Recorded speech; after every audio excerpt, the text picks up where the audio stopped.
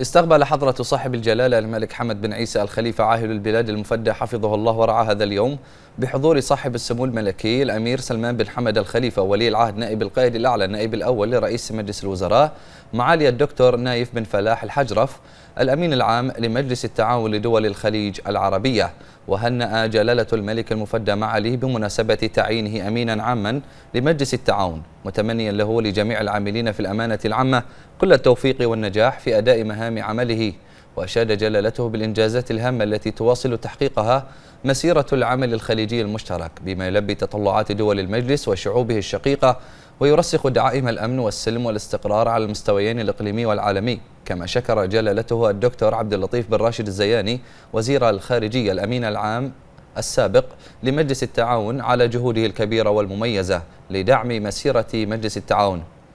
وقد عبر معاليه عن بالغ شكره وتقديره لحضرة صاحب الجلالة مؤكدا حرصه على بذل كل الجهود في سبيل تعزيز وتطوير علاقات الشراكة والتعاون الوثيقة بين دول الخليج العربية كما جرى خلال اللقاء استعراض عدد من المواضيع المتعلقة بالشأن الخليجي.